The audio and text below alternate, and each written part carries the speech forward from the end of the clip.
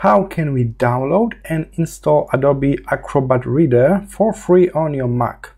The good news is the base version is still free, so you just simply need to search for it in Google and we're going to download it from the official website. So ignore first two results, they're always sponsor results and the result number three, get.adobe.com, that's the website.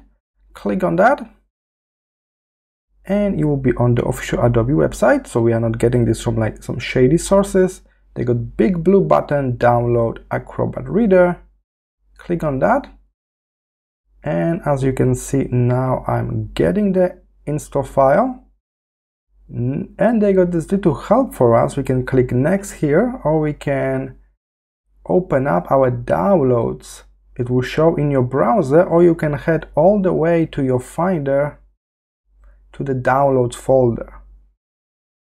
I will click on this here. And here it is. We got this installation file. Again, double tap and the installation will start. Let's continue. Select where to install for only for me or for all of the users of this computer. Let's continue we can change the destination but for me I will install this on the default drive. So I click install. They may ask you to confirm your password if you are the admin of this computer. And after the password is in the program will be installed on your drive. It may take a few minutes. In my case they predict it will take less than one minute so that's good.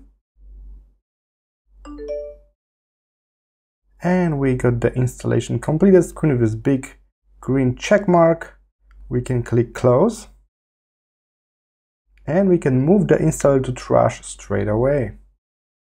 Alright, let's close this website. Now I'm going to head to App Launcher, the one here at the bottom with all of my apps.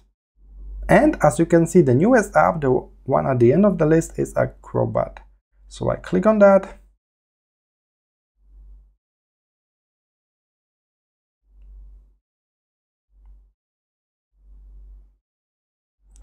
When you launch it for the first time, you will need to agree to license agreement. So let's click agree.